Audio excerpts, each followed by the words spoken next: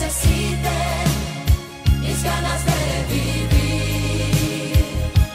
Donde falte la esperanza, donde falte la alegría, simplemente Diócesis en misión. En nuestro último segmento, Protagonistas de la Misión, vamos a ver la entrevista que realizó el Padre Nelson Joel Santos al presbítero Kevin Kelly de la comunidad oratoriana.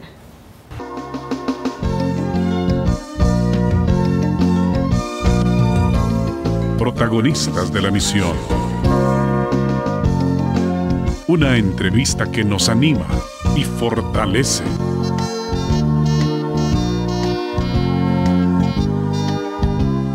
Bienvenidos, estimados hermanos, a nuestro programa Protagonistas de la Misión. Eh, soy el Padre Nelson eh, Joel Santos y eh, envío para ustedes un saludo de paz, de bondad en Cristo Jesús. Sabemos que nuestro programa tiene como iniciativa conocer las experiencias de las personas que han marcado a través de su apostolado la vida del reino de Dios en, en nuestra historia. Y ahora tenemos una entrevista súper importante. Es un hermano, es un amigo, un sacerdote y queremos ir conociendo poco a poco su vida. Se llama el padre eh, Kevin Kelly. Él es norteamericano y bienvenido, padre Kevin, a nuestro programa. Muchas gracias, Padre. No, Señor, estoy muy feliz por estar aquí en este día contigo y con la comunidad de San Miguel. Gracias por la invitación. Estimado Kevin, el- nuestro programa siempre necesita eh, llevarse a través de la experiencia personal, eh, porque justamente en la historia de cada persona Dios va embarcando los pasos eh, justamente para llamarnos al bien, a trabajar en su reino. Yo quisiera que nos comentes cómo ha sido la historia de tu familia, dónde naces, cuántos hermanos, estos, estos datos básicos para poderte conocer. Ok. Yo nací en el estado de Maryland, muy cerca a Washington, D.C., pero vivía la mayoría de mi vida en el estado de Nueva Jersey, más o menos 30 minutos sur de la ciudad de Nueva York. Mis padres son muy, muy fuertes en la fe. Yo recibí una educación en la, eh, en la escuela católica y la iglesia católica también ah, por mi vida, más o menos por mi vida entera.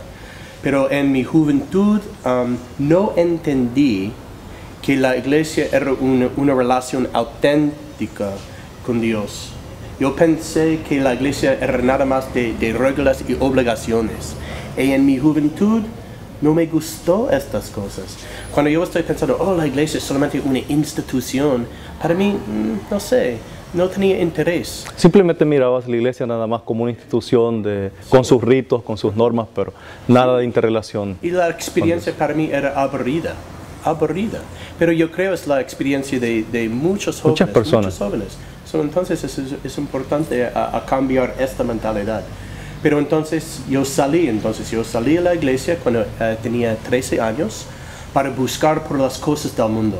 Porque en mi juventud yo pensé, oh, las- el mundo tiene la respuesta de mi vida. El mundo tiene la respuesta de mi alegría. So yo salí de la iglesia buscando por algo para vivir en la alegría. Pero yo encontré muchas dificultades también en el mismo tiempo. Yo fui buscando por la alegría, pero muchos amigos míos, incluso yo, to- tomábamos drogas con frecuencia, eh, eh, están tomando alcohol con frecuencia y hay muchas, muchas dificultades. Mis amigos murieron en mi juventud, hay muchos, muchos. Pero en, en- en mi vida sacerdotal yo estoy usando cada parte de mi vida, cada parte de mi historia para um, atraer a la gente más cerca al amor de Dios. Desde luego. Gracias a Dios entonces por cada experiencia de mi vida. Yo estoy contento con mi, mi pasado. No tengo vergüenza porque yo entiendo el Señor está usándome como su instrumento para atraer a la gente más cerca de su gracia. Entonces, gracias a Dios por mis experiencias. Todo santo tiene su pasado y, y- y todo pecador su futuro, la, la frase es mi frase. de un cardenal. Eh, eh, en este momento de tu experiencia eh, en vicios como drogadicción, alcoholismo, mucha mundanalidad, si, eh, si queremos hablar de ello, eh, tu experiencia de tristeza es enorme. Mucho sufrimiento. Eh, ¿Tu relación con tu familia es, es, eh, Fue engorrosa? un poco duro porque yo creo cuando yo salí de la iglesia, mis padres eh, estuvieron tristes porque es el centro de su vida, es la, la relación con Dios y la iglesia. Y es duro cuando, cuando los padres están ah, mirando a sus hijos saliendo de la iglesia y hay- hay muchos padres en, en esta situación. ¿Tú vivías con tus padres hasta cierto tiempo o te retiras de tu casa? No, no, no. Yo viví con mis padres ah, por mi juventud en, en, en Terra. Y ah, después mi graduación ah, a la escuela secundaria, yo fui a Nueva York para estudiar arte allá. Pero yo viví en la casa, ah, yo viví con- en la casa con mis padres durante mi tiempo en la, la Universidad de Arte también. Es interesante descubrir que incursionas en el mundo de, eh, duro de la drogadicción, del alcoholismo, pero también eh, como un hombre artista eh, eres parte de la fundación de, de- de dos bandas de rock Ah, punk. sí, Yo quisiera que nos hables también de esta experiencia, que muchos jóvenes también incursionan en ella y, y sienten que ahí está como la felicidad, en la fama, porque tengo entendido que tú recorriste prácticamente todo el mundo, eh, Sí. eh, llevando música, rock, música muy loca y, y todo esto como que va muy unido, va como muy compaginado, muy conexo. Pero viene a terminar eh, hasta cierto punto profundizando en- más en, en la tristeza, en, en el sinsentido de la vida. Ah, cuando era en la escuela secundaria, ah, aprecio un tipo de música nueva, se llama punk, la música de la roca de punk. Es música que es muy, muy fuerte, muy agresivo, pero a veces también con una conciencia social. Y yo tenía un gran interés en esta música. Cuando yo escuché la- esta música la primera vez, yo pensé, wow, esa es la respuesta para mí. Yo quiero hacer una banda, yo quiero escribir canciones también y cantar con la gente. So, mm, uh, formé un grupo, dos grupos. A primero un grupo se llama Los Puercos Corporativos. La corporación de cerdos. Sí, un- los cerdos y los, los cerdos corporativos. Y fue una música muy agresiva y muy political. Y entonces, después este grupo, eh, me formé un grupo, se llama um, Arñonzo de Pollo en, en español, pero en inglés es Chicken Scratch. Y eh, es una expresión en los Estados Unidos cual significa eh, escrito a mano que es muy difícil para leer. Y la razón por este nombre es porque la música de mi banda fue muy, muy caótica. Caó- Caótico, caótico. Y hicimos tres CDs y viajamos por los Estados Unidos y Europa por más de ocho años. Y, you know, tocando ¿Tenían como mucha aceptación, mucha aceptación en los lugares donde iban? Sí, en, el- en- en- en la cultura de punk, porque es una vida es más subterráneo. So, sí, yo, yo- tenía muchos amigos en, esta cultura y fue una experiencia súper interesante, pero también llena de adicción, llena de tristezas. Hay mucha gente buscando por la, res- la respuesta de la vida y a veces estamos haciendo cosas malas, solamente, a veces solamente en- en la confusión de la vida porque hay mucha gente que está viviendo sin la respuesta. Algo importante para entender en, en mi historia. So, um, viajamos muchas veces en mi grupo, estamos viajando por los Estados Unidos y Europa, y, pero por este tiempo yo estoy buscando por algo también, porque mi, mi corazón uh, era vacío, un poco vacío, y buscando por más, por más. ¿Qué es la respuesta de mi vida? ¿Qué es la razón de existir? Y después de un viaje, yo regresé a mi casa, eh, donde vivía con mis amigos en la ciudad de Nueva Brunswick, en New Jersey, y no tenía dinero para pagar la renta de, de mi casa. So, entonces, en, en un momento de desesperación, yo hice muchos cuadros en mi casa y yo manejé a, la- a Nueva York con la idea para vender mis cuadros en la calle. Cuadros de las pinturas. Sí, de mis pinturas. Y mucha fue mi sorpresa. Yo vendí todos mis cuadros en la calle en un día. Y yo pagué la renta a mi, a patrón en el mismo día. So, wow, yo pensé, quizás es posible para mí vivir en esta forma, como una artista de la calle. Y se fue.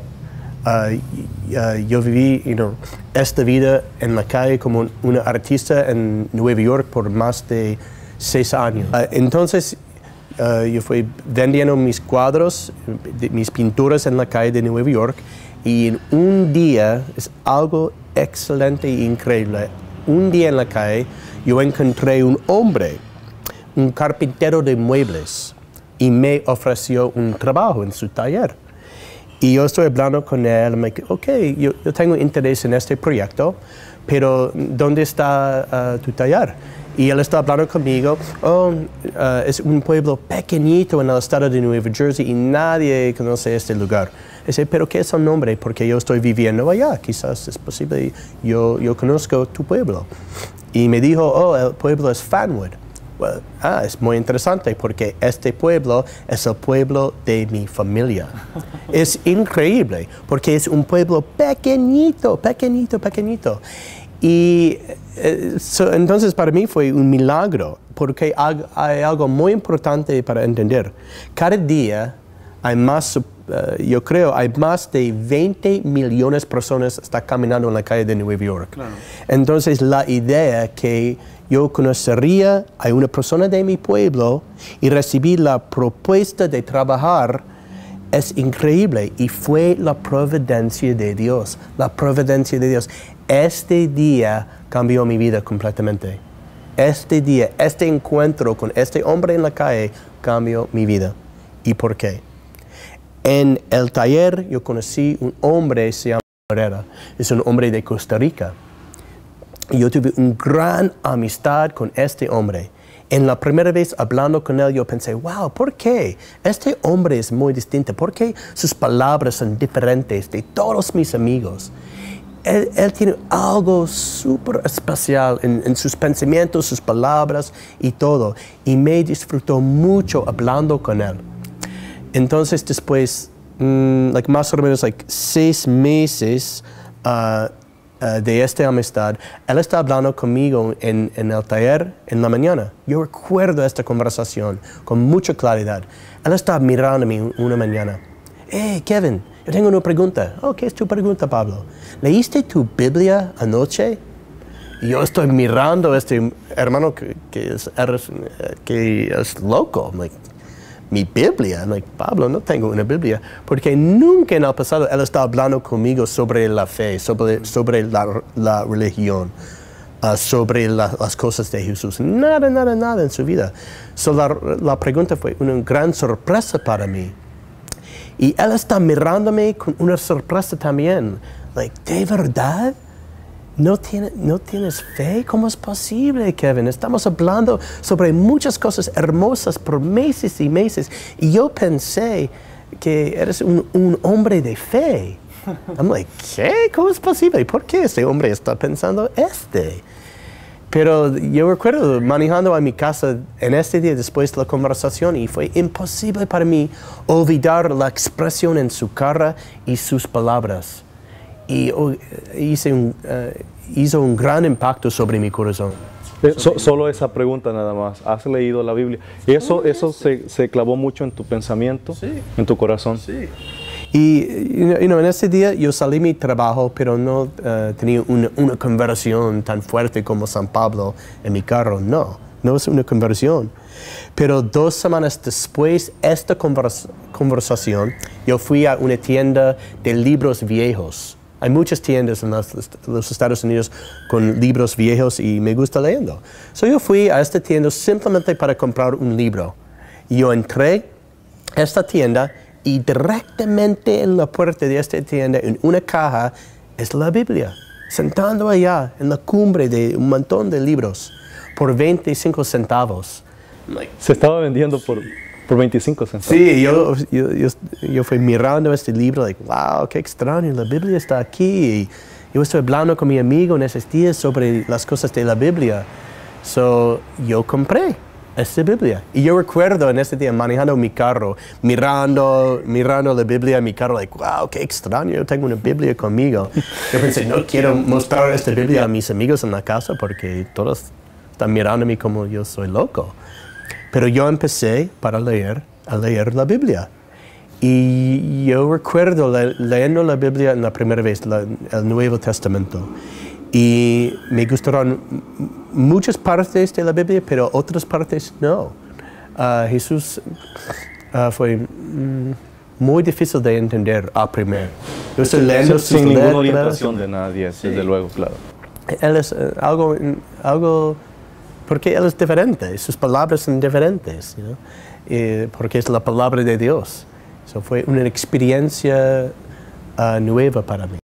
¿Cuándo empiezas a tener como una experiencia mucho más profunda que te lleva a descubrir a Jesús, eh, además de esta lectura continuada de la Sagrada Escritura? Sí. ¿Hay alguna experiencia focal que, Sí. Que, que cambia la historia? Después un año de este, simplemente leyendo la Biblia y también otros libros espirituales, un día en mi casa, yo estuve, eh, un día estuve en mi casa y eh, yo tenía una experiencia ah, tan extraña de Dios, una experiencia del Dios vivo conmigo.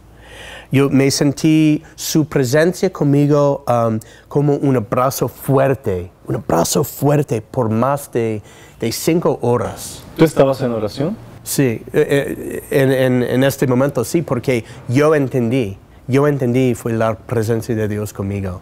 No sé por qué, pero yo entendí este. Y yo lloré fue porque fue algo muy, muy especial para entender en la primera vez en mi vida que Dios existe. Dios existe en verdad. Y este evento cambió mi vida también. Una vez más, un otro cambio. Y en este día yo regresé a la iglesia católica. Pero a primer simplemente para escuchar la palabra de Dios, no para recibir la Santa Comunión, simplemente para escuchar su palabra y entender su palabra más en mi vida. A esta, a esta altura de tu proceso de conversión, ¿todavía habían drogas en tu vida? En ese momento no. ¿No más? No, no, no. ¿Se habían quedado No, no. atrás? Sí, ¿Había yo salí una- de estas cosas hace cinco años des- antes. Había una conversación con, Pe- con Pablo, tu amigo, sobre la Biblia posterior o, o nada. No, no, fue, fue una, una conversión, yo creo, en mi vida. Pero es un proceso. Por muchos, una- la, la conversión es un proceso, like, poco a poco, y cada parte de la vida es importante para nosotros. La comunidad de oratorianos, fundados por San Felipe Neri. Ellos viven eh, potenciado, de manera potenciada la alegría. Porque San Felipe Neri es el, el santo de la bondad, el- considerado muy simpático y con mucha alegría. ¿Por qué tú ingresas en esta comunidad de oratorianos? Ah, es interesante, yo- ah, cuando yo entré en la iglesia católica de después de muchos años, yo fui a una parroquia cerca de mi casa y hay dos sacerdotes en esta comunidad y ellos estuvieron en el proceso de, de fundir esta congre- congregación. ¿La fundación? Sí, la fundación de, de los oratorianos. Y no entendí nada de San Felipe Neri, pero después hablando con ellos y leyendo libros de él, ah, yo encontré un santo que es muy importante para mí.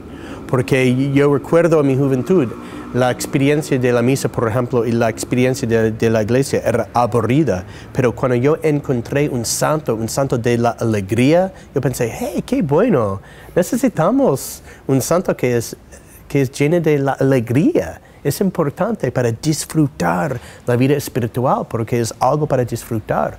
Y yo entendí este por mi experiencia.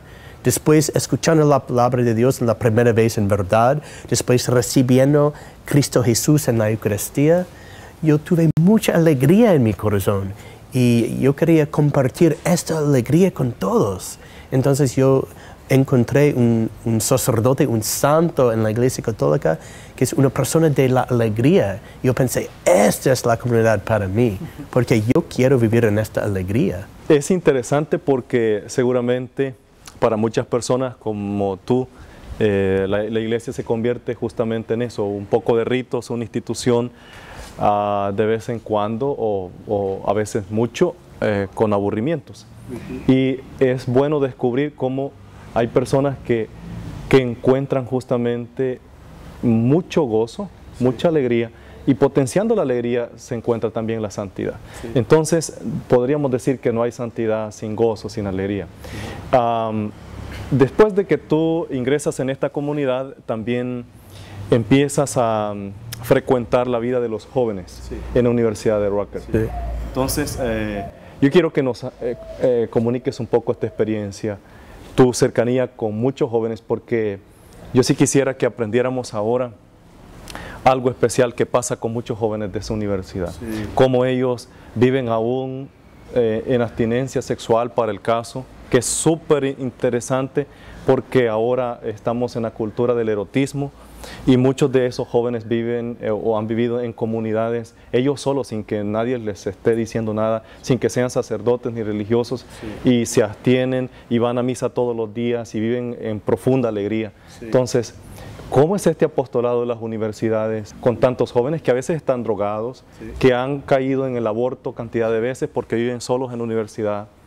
Para el caso en Estados Unidos, muchos casos, muchas personas so- eh, con sobredosis de droga y muriendo cada año. Oh, sí. Coméntanos un poco de esta experiencia. Sí, oh, la experiencia con los estudiantes es algo maravilloso, algo maravilloso, porque ah, yo entendí la, la perspectiva de los jóvenes, porque siempre yo estoy recor- re- recordando mi historia. Si yo tengo una conexión tan fuerte con los jóvenes y yo puedo ah, compartir todas partes de mi vida con ellos para atraer los jóvenes más cerca del amor de Dios. Y hay muchos jóvenes en, en- en- en la universidad ah, y ellos están buscando por el amor. Pero a veces ellos están buscando por el amor en un, un camino malo y con mucha confusión. Y después cayendo en, en muchas adicciones, tinieblas y eh, todos, estas jóvenes están buscando por el amor de Dios para cambiar la vida. Y hay muchos. Tenemos seis misas cada domingo por los jóvenes y cada misa está llena, llena, llena, llena, con jóvenes buscando por el amor, en verdad. Ahora tú estás eh, también teniendo un proceso, eh, no solo en la, en la universidad, sino que también fuera del país. Eh, es interesante cómo te conocimos justamente en esta casa que ahora nos alberga, el seminario menor donde estuvo Monseñor Óscar Anulfo Romero. Tú vienes un día aquí a este seminario eh, junto al Padre Mino, que sale justamente del Mozote, de la masacre del Mozote. Entonces, eh, tienes un contacto como muy fuerte con la comunidad salvadoreña aquí en San Oh, Miguel. sí. Eh, platícanos un poco de esta experiencia que ahora también es como mucho más enriquecedora, el contacto con hermanos fuera de tu patria, para comunicar también el mensaje de Dios. Oh, sí, esa parte es importante para mí. Ah, yo soy miembro de mi comunidad, pero al mismo tiempo, eh, de muchos aspectos, a mi corazón es misionero. Y me, me gustó mucho visitando diferentes países para compartir la vida con otros. Ah, y no solamente con un misionero, pero compartir nuestra vida como el cuerpo de Cristo en verdad. Y so, cuando yo estoy aquí y yo tengo la oportunidad um, para compartir mi vida con las comunidades de San Miguel y en, en y diferentes lugares, es, una, es un privilegio tan grande para mí, tan grande para mí. Ah, yo tengo ah, mucho, mucho amor por la gente de El Salvador. Ah, este país es, es un lugar muy, muy especial, muy especial. Y el ejemplo de, de uh, Monsignor Romero, él es mi ejemplo. En la vida sacerdotal, cuando yo estoy buscando por una respuesta, Monsignor Romero tiene, tiene la respuesta para mí siempre, por su predicación, por su palabra. Y cuando yo estoy leyendo, por ejemplo, sus homilías o escuchando un mensaje de él por radio, oh, es algo tan importante para mí. Siempre él está haciendo un gran impacto sobre mi vida como un sacerdote. Ah, él está llamándonos siempre para ser profetas y me gusta esta proclamación de él porque es necesario. En este tiempo en la Iglesia Católica somos llamados a ser profetas del amor de Dios. Todos, no solamente los sacerdotes, cada miembro de la Iglesia Católica, todos los jóvenes, todos los jóvenes, para ser un pro- profetas del amor de Dios. Y, y ten- tenemos este don por nuestro bautismo, tiene- tiene- tenemos este don por nuestra conformación, para proclamar el amor de Dios en medio de las dificultades, las tristezas y los sufrimientos de la cultura.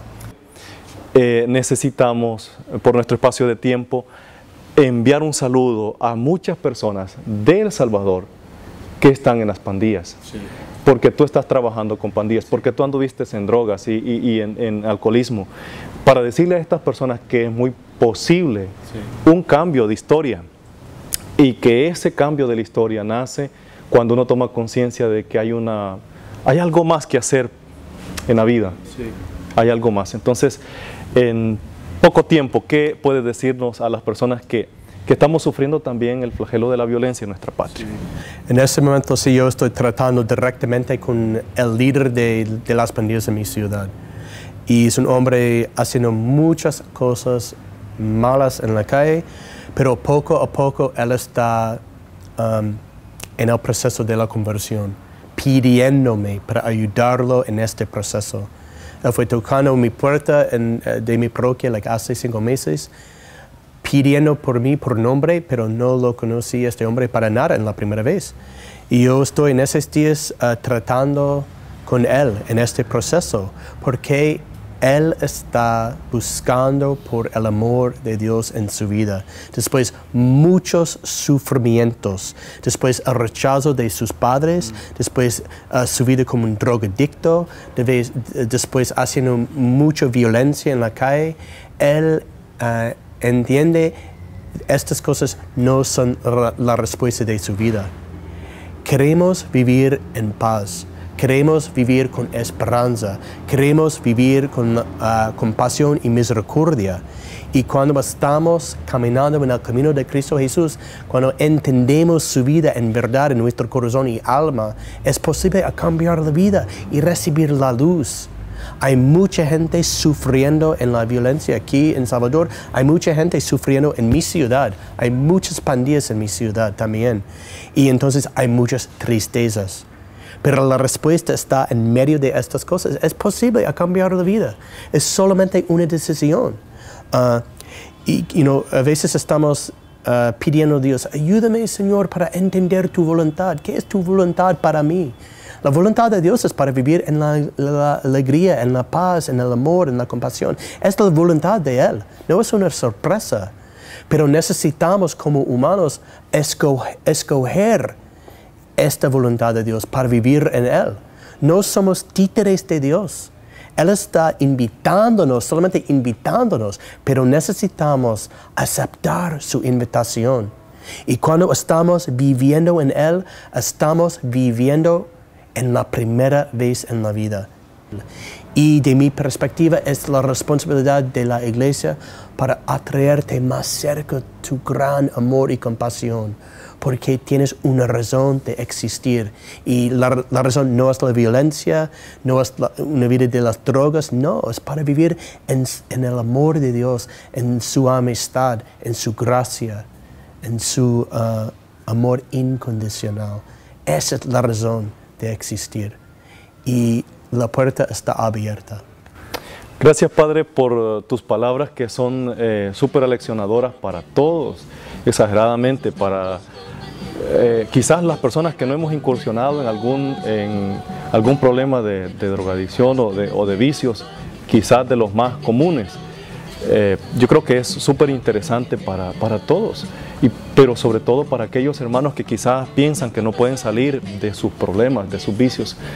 Claro que sí, y tenemos en tu propia vida un testimonio evidente de que Dios puede sacarnos de cualquier circunstancia y que volvemos a repetir, todo pecador tiene futuro y todo santo tiene una historia. Y la historia no nos tiene que apenar cuando sabemos que esa historia ha estado redimida por el Señor. Justamente nuestro Señor dice, yo he venido por los pecadores, por los enfermos. Y el que se sienta así debe de buscarlo. Vengan a mí los que están cansados y agobiados, yo les daré descanso. Agradecemos enormemente por tu, eh, este espacio, tu apertura del corazón, respetamos mucho el misterio de tu vida, te animamos para continuar en tu labor y a nuestros amigos les invitamos para continuar estas valiosas entrevistas y nos vemos Dios mediante en una próxima edición. Gracias. En el Evangelio de hoy se nos invita a ser solidarios con nuestros hermanos y a que podamos ser constructores de amor, de paz y reconciliación en nuestras comunidades. De esta forma nosotros nos despedimos, no sin antes agradecerles por su sintonía y recordarles que vean siempre Diócesis en Misión a esta misma hora y por este mismo canal y también a que escuchen Radio Reina de la Paz en el 93.3 FM de su dial. Y si ustedes lo prefieren, pueden visitar las páginas interactivas de nuestra diócesis que aparecen bajo sus pantallas. Deseamos abundantes bendiciones para ustedes y su familia y si Dios lo permite, nos vemos hasta la próxima.